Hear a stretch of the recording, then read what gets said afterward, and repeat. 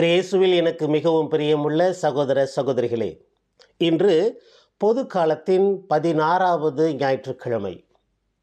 அன்புக்குரியவர்களே தொடர்ந்து கடந்த வாரத்திலிருந்து ஆண்டவர் இயேசு கிறிஸ்து நமக்கு விண்ணரசை பற்றி விளக்க உரைகளை த- தந்து கொண்டிருக்கிறார். அதாவது விண்ணரசு எப்படிப்பட்டதாக இருக்கிறது? விண்ணரசை எதற்கு ஒப்பிடலாம் என்று சொல்லி இயேசு நமக்கு விளக்கங்களை கதைகளை சொல்லி நமக்கு விளக்குகிறார்.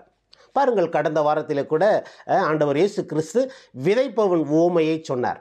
அந்த விதைக்கிறவன் விதைக்கிறவன் அந்த விதை அந்த நான்கு நிலங்களை பற்றி முக்கியமாக பார்த்தோம். அதாவது வழியோரமாய் விழுந்த விதைகள் பாறை நிற நிலத்திலே விழுந்த விதைகள் அப்பிறகு முச்செடிகள் நடுவிலே விழுந்த விதைகள் கடைசியாக நல்ல நிலத்தில் விழுந்த விதைகள். இவை எப்படியாக பலன் கொடுத்தன என்பதை பார்த்தோம். நல்ல நிலத்தில் விழுந்தவை நூறு மடங்கு அறுபது மடங்கு முப்பது மடங்கு பலன் கொடுத்தன என்று சொல்லி ஆண்டவர் இயேசு கிறிஸ்து கேட்க செவியுள்ளவன் கேட்கட்டும் என்று சொல்லி நமக்கு அதற்குரிய விளக்கத்தையும் கொடுத்திருந்தார். அதற்குரிய விளக்கத்தையும் நாம் கடந்த வாரம் பார்த்தோம். அன்புக்குரியவர்களே பாருங்கள் அதனைத் தொடர்ந்து இந்த வாரம் கூட ஆண்டவர் இயேசு கிறிஸ்து மூன்று கதைகளை சொல்லுகிறார். மூன்று கதைகளை விண்ணரசுக்கு இப்படியாக ஒப்பிடலாம். விண்ணரசு இப்படியாக இருக்கும். விண்ணக அரசு இப்படிப்பட்டதாகத்தான் இருக்கும் என்று சொல்லி ஆண்டவர் சிறிய சிறிய கதைகள் வழியாக நமக்கு விளக்கம் தருகிறார். அன்புக்குரியவர்களை பாருங்கள் இன்று மூன்று கதைகள். அதாவது வயலில் தோன்றிய கலைகள் இரண்டாவது கடுகு விதை மற்றும் புளிப்பு மாவு இந்த கதைகள். மூன்றாவது பகுதியாக அந்த கலைகள் வந்ததுக்குரிய விளக்கத்தை சொல்லி இந்த நற்செய்தியிலே பார்க்கிறோம். அன்புக்குரியவர்களே பாருங்கள். இந்த கதைகளிலே இயேசு சொல்லுகின்ற இந்த போன வார கதையாக சரி இந்த வாரத்தில் வருகின்ற கதையிலும் சரி ஆண்டவர் இயேசு கிறிஸ்து விவசாயத்தை மையமாக வைத்து அதன் மூலம் நமக்கு விண்ண விண்ணரசை பற்றி எடுத்துரைக்கிறார். பாருங்கள் விவசாயம். விவசாயத்துக்கு என்னென்னலாம் தேவைப்படும் பாருங்களேன். முதல்ல நிலம் நல்ல நிலம் இருக்கணும். அந்த நிலத்துக்கு என்ன சொல்லணும்? ந- ஓ- அந்த நிலத்தை கொத்தி உழுகணும். அதை உழுது ஏர் ஓட்டி அதை உழுகணும். அதுக்கப்புறம் அதை தண்ணி பாய்ச்சணும். பாருங்கள் ஒரு விவசாயிக்கு என்னென்ன பிரச்சனைகள்லாம் இருக்குது பாருங்களேன். ஒரு விதை விதைச்சிட்டா அந்த விவசாயி அப்படியே படுத்து கட்டில் படுத்து தூங்கிடுவாரா இல்லை. எவ்வளோ பிரச்சனைகள்? திடீர்னு மழை வந்துடும். அதிக மழை பெஞ்சிட்டாலும் பிரச்சனை. இல்லை மழையே இல்லை அதிக வெயில் அடிச்சிட்டாலும் பிரச்சனை. இல்லை க மிதமாக வெயில் அடித்து மிதமாக மழை பெஞ்சு இருந்தாலும் பூச்சி தொல்லைகள் இல்லாமல் இருக்கணும். அது பூச்சி மருந்து அடிக்கணும் அது உரம் போடணும் டெய்லி போய் அந்த அந்த விளைச்சலை பார்க்கணும் என்ன நிலைமை எப்படி வருது எப்படி மு- பூச்சி இருக்கா புழு இருக்கா அப்படின்னு செக் பண்ணணும். இப்படியெல்லாம் பல பிரச்சனைகளோடு அப்போ அந்த கடைசி நாள் அந்த அறுவடை காலம் வரை அந்த விவசாயிக்கு வந்து பல வேலைகள் இருக்குது இப்போ ஆண்டவர் இயேசு கிறிஸ்து அந்த விவசாயத்தை மையமாக வைத்து விண்ணரசு இப்படியாக இருக்கும் என்று சொல்லி நமக்கு கதைகள் மூலமாக நமக்கு எடுத்துரைக்கிறார். பாருங்க இன்னைக்கு முதல் கதையில் என்ன சொல்கிறாருன்னா ஒரு விவசாயி விதைக்கிறார். விதைச்சிட்டு பார்க்கும் பொழுது ந நல்ல விதைகளோடு நல்ல செடிகளோடு களைகளும் வளர்ந்துருக்குது. இப்போ அவருக்கு ஒரு ஆச்சரியம். இந்த களைகள்லாம் எங்கேருந்து வந்துச்சு? எப்படி வந்தது? அப்படின்னு தெரியல. உடனே அவர் என்ன செய்கிறாரு அந்த களைகள்லாம் பிடிங்கிடலாமா அப்படின்னு சொன்னால் இல்லை களைகளை பிடுங்கிடக்கூடாது உடனே. ஏன்னா ஒருவேளை அந்த களைகளை பிடுங்கும் பொழுது அந்த நல்ல செடிகளுக்கும் நல்ல விதைகளுக்கும் ஏதாவது பாதிப்பு ஏற்பட நேரிடும். அதனால் களைகளை பிடுங்க வேண்டாம். ரெண்டும் ஒன்றா வளரட்டும். அறுவடையின் போது அறுவடையின் போது அந்த களைகளெல்லாம் சேகரிக்கு தனியாக சேகரித்து அவைகள் தீயில் மூட்டு எரி எரிக்கப்படும் என்று சொல்லி ஆண்டவர் சொல்லுகிறார். பாருங்கள் ஒரு சிறிய அழகான கதை. ஒரு சிறிய கதை. அந்த கதையிலிருந்து எவ்வளவு அர்த்தங்கள் உள்ள ஒரு கதையாக இருக்கிறது என்று பாருங்கள். பிரியமானவர்களே இப்போ இந்த நல்ல விதைகளை நல்ல அந்த விவசாயி விதைத்தார். இந்த தீய விதைகளை விதைச்சு யாரு? தீய விதைகள் தானாக முளைச்சி வரலையே. அந்த தீய செடிகள் மற்ற செடிகள் களைகள் வந்து தானாக முளைச்சி வரலையே. அந்த க நற்செய்தியுடைய கடைசி பகுதியில் இயேசு அந்த விளக்கத்தில் சொல்கிற போது யார் விதைத்ததா சொல்கிறார் சாத்தான் விதைத்ததாக சொல்கிறார் அழகை. சாத்தான் வந்து அந்த கெட்ட விதைகளை விதைத்ததாக சொல்லுகிறார். அப்படின்னா பாருங்க ஒரு நல்ல விதை நல்ல நிலம் நல்ல விதை விதைகள் விதைக்கப்பட்டு இருக்கிறது அந்த இடத்துல மற்றவர்கள் நம்முடைய வளர்ச்சியை விரும்பாதவர்கள் நம்ம நல்ல நல்ல கனியை கொடுக்கக்கூடிய ஒரு செடியாக நல்ல மரமாக இருக்கும் பொழுது அதை விரும்பாதவர்கள் நம்முடைய மத்தியிலே கெட்டவைகளையும் விதைக்கிறார்கள் கெட்டவர்களும் இருக்கிறார்கள். இப்பொழுது பாருங்க போன வார நற்செய்திக்கும் இந்த வார நற்செய்திக்கும் ஒரு சின்ன கனெக்ஷன் ஒரு சின்ன கனெக்ஷன் போன வார நற்செய்தியில் அந்த நான்கு வகையான நிலங்களை பார்த்தோம். அந்த முதல் நில அந்த மூ முதல் மூன்று நிலத்தை விட்டலாம். அது வழியோரம் முச்செடிகள் அப்புறம் அந்த பாறை நிலம் அந்த மூணையும் விட்டலாம். கடைசி இருந்த நல்ல நிலம். நல்ல நிலத்தில் விதைகள் விதைக்கப்பட்டன. இதில் விதைகள் ஏதாவது குறை இருக்கா? விதைகள் எதுவும் குறை சொல்ல முடியாது. ஏன்னா அது கடவுளுடைய வார்த்தை. விதைகளில் எந்த குறையுமே கிடையாது. விதைகள் எல்லா இடத்துக்கும் அது பா பாறை நிலமாக இருந்தாலும் சரி அது வழியோரமாக இருந்தாலும் சரி அது முற்செடிகளாக இருந்தாலும் சரி அது நல்ல நிலமாக இருந்தாலும் சரி விதைகள் சமமாக விதைக்கப்படுகின்றன. விதைகளில் எந்த குறையும் இல்லை. இப்போ அந்த நான்கு நான்காவது நிலத்தில் மட்டும் பாருங்கள் இப்போ அந்த நான்காவது நிலத்துக்கு நிலத்துக்கு ஏதாவது குறை இருக்கா? இல்லை. ஏன்னா கதையில் இயேசுவே சொல்கிறாரு அது ஒரு நல்ல நிலம். நல்ல பண்பட்டு உழுது நல்ல நிலம். அப்போ நிலத்துலேயும் எந்த குறையும் இல்லை. பாருங்களேன். அப்போ விதைத்தவர் மேலே ஏதாவது குறை இருக்கா? இல்லை. அவர் எல்லாத்தையும் சமமாக தான் பாவிச்சு எல்லாத்துக்கும் விதைக்கிறார். யாருக்கும் பாகுபாடு நினச்சி அங்கே அதிகம் இங்கே கம்மி இங்கே கொஞ்சம் நல்ல விதை அங்கே கொஞ்சம் கொஞ்சம் சொத்த விதை அப்படிலாம் விதைக்கல. எல்லாருக்கும் சமமாக விதையை விதைக்கிறார். எனவே விதையில் பிரச்சனை இல்லை நிலத்தில் பிரச்சனை இல்லை விதைத்தவரிடமும் பிரச்சனை இல்லை. இப்போ ஏன் போன வாரம் நூறு மடங்கு எல்லா விதைகளும் கொடுக்கல. அந்த நல்ல நிலத்தில் விளைந்த அத்தனை விதைகளும் ஏன் நூறு மடங்கு கொடுக்கவில்லை? ஒரு சில விதைகள் அறுபது மடங்கு தான் கொடுத்தது. இன்னும் ஒரு சில விதைகள் முப்பது மடங்கு தான் கொடுத்தது. இருப்பினும் அந்த இருபது மட அறுபது மடங்கையும் முப்பது மடங்கையும் அந்த விவசாயி அதாவது கடவுள் அன்பாக மகிழ்ச்சியோடு ஏற்றுக்கொள்கிறார் என்பதை பார்த்தோம். அன்புக்குரியவர்களை பாருங்கள் இந்த நற்செய்தியிலே இப்போ அந்த நல்ல நிலத்தை மட்டும் சிந்திக்கக்கூடிய ஒரு நற்செய்தியாக இருக்கிறது. அந்த நல்ல நிலம் நிலத்தில் விதைச்சாச்சு. விதைகள் விதைச்சு ஆனால் அந்த நல்ல நிலத்தில் விதைக்கப்பட்ட விதைகளுக்கு என்ன பிரச்சனை இருக்குது வெளியில் அந்த மற்ற மூன்று மூன்று நிலங்களுக்கு வேறு வேறு பிரச்சனைகள் இருந்துச்சு. வழியோரமாக விழுந்த பிரச்சனை விதைகளுக்கு பறவைகள் பிரச்சனையாக இருந்தது.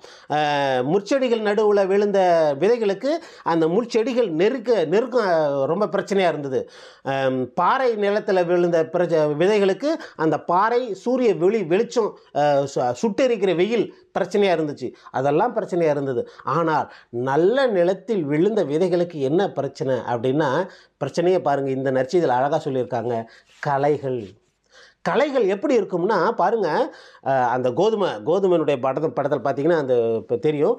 கோதுமை செடியும் அந்த கலையும் ஒரே மாதிரி இருக்கும். இது எது கோதுமை எது கலைன்னே தெரியாது. அப்போ சிறு வயசு அந்த இளம் வயதில் ரெண்டுமே ஒரே மாதிரி தான் இருக்கும். ஆனால் அந்த கோதுமை முத்தி கதிர் விட்டு தலைஞ்சு நிற்கும் பொழுது தான் தெரியும் கோதுமை இது ஒன்றுமே தெரியாது அப்படியே விளைஞ்சு மட்டும் கோதுமைக்கு மேலே நிற்கும் பிரியமானவர்களே இதற்காகத்தான் ஆண்டவர் சொல்லுகிறார் இந்த நற்செய்தியில். அந்த கலைகளை பிடுங்கிறாதீங்க. ஏன்னா உங்களுக்கு தெரியாது எது கோதுமை எது கலைன்னு தெரியாது. ஆனால் எனக்கு தெரியும் இதில் கடவுள் நமக்கு சொல்கிற ஒரு மிக முக்கியமான கருத்து என்னன்னா பொறுமை. பொறுமையாக இருக்கணும்.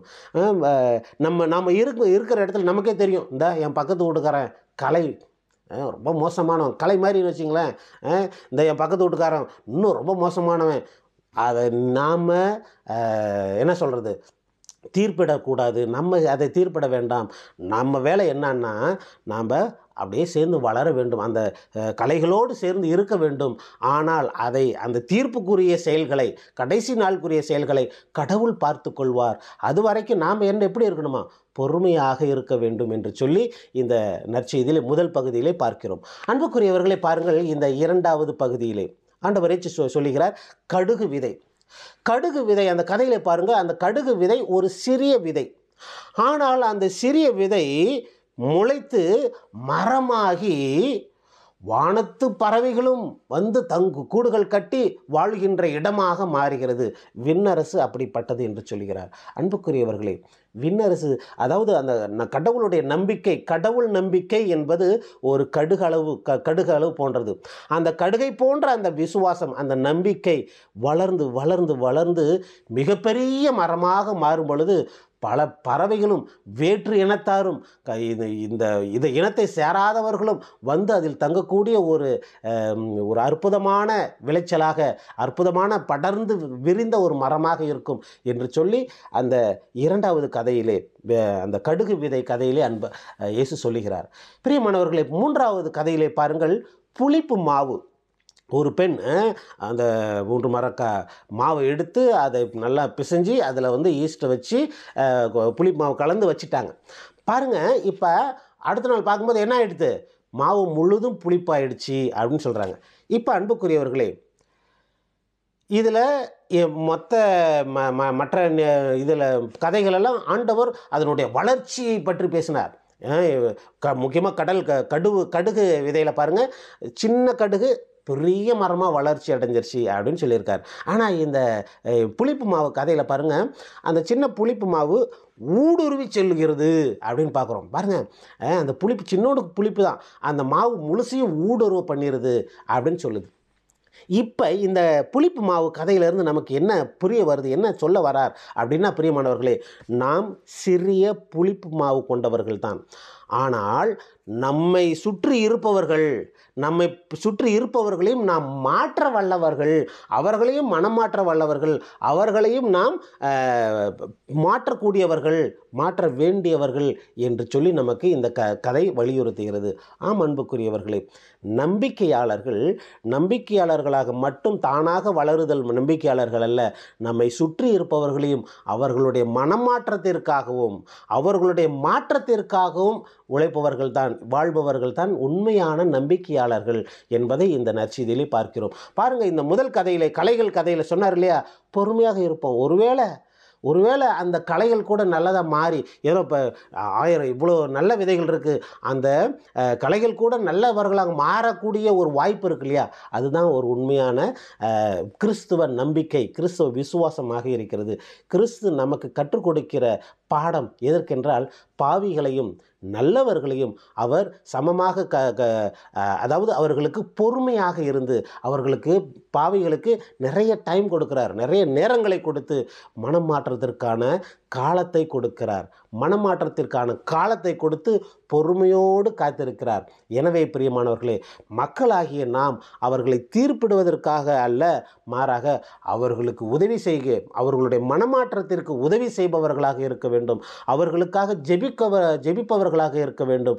அவர்களோடும் அவர்கள் ஒருவேளை மனமாற்றம் அடைந்து விட்டால் அவர்களையும் நாம் சேர்த்து கொண்டு விண்ணக அரசிலே சென்றடைய வேண்டும் என்று சொல்லிதான் இந்த நற்செய்தியிலே பார்க்கிறோம். ஆம் அன்புக்குரியவர்களே இயேசு கூறுகின்ற இந்த நற்செய்திக்கு விளக்க உரைகளாக இந்த கதைகளின் மூலமாக ஆண்டவர் இயேசு கிறிஸ்து நமக்கு சொல்லுகின்ற பொறுமை பொறுமை பொறுமையாக இருந்து இருக்கிற க- எல்லா கஷ்டங்கள் கலைகள் இருக்கும். அந்த க அந்த பிரச்சனை இந்த பிரச்சனை தண்ணி இல்லை வெயில் இப்படியெல்லாம் ஒரு விவசாயிக்கு ஒரு செடிக்கு எத்தனை பிரச்சனைகள் வருகிறதோ அத்தனை பிரச்சனைகளையும் அனுபவித்து அதோடு பொறுமையாக நாம் விசுவாசத்திலே நம்பிக்கையிலே உ- உறுதியாக இருக்கும் பொழுது கண்டிப்பாக நாம் விண்ணரசில் சேருவோம் என்பதை இந்த நற்செய்தி கூ- கூறுகிறது. எனவே கண்களை மூடி ஜெபிப்போம்.